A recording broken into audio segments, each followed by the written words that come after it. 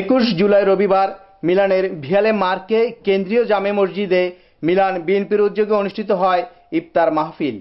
Milan বিএনপির সভাপতি খান এমদাদ হোসেনের সভাপতিত্বে এবং সাধারণ সম্পাদক হোসাইন মনিরের তত্ত্বাবধানে অনুষ্ঠিত মাহফিলে রমজানের তাৎপর্য নিয়ে আলোচনা করেন মাওলানা আনিসুর রহমান। মাহফিলে উপস্থিত ছিলেন মিলান বিএনপির নেতৃবৃন্দ রকুন উদ্দিন আহমেদ হাবিবুর রহমান আইয়ুব, আবদুল্লাহ আল মামুন ইঞ্জিনিয়ার আব্দুল মান্নান, মোস্তাফিজুর রহমান স্বপন, রফিকুল ইসলাম আফসার উদ্দিন আহমেদ, শাহিন মাহমুদ সহ লোম্বারদিয়া বিএনপির স্বেচ্ছাসেবক দল, শ্রমিক দল ও ছাত্র দলের নেতাকর্মীবৃন্দ এবং মিলানের বিভিন্ন রাজনৈতিক, সামাজিক ও সাংস্কৃতিক সংগঠনের নেতৃবৃন্দ। মাহফিলে মুসলিম উম্মা ও বাংলাদেশের মঙ্গল কামনা করে মোনাজাত পরিচালনা করেন হাফেজ হাফিজুল ইসলাম।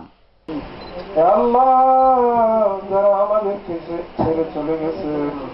তাদেরকে তুমি আল্লাহ জান্নাতুল নসিব করে দিও আল্লাহ। Nazmul Hasan Shamim, channel I, Milan, Italy.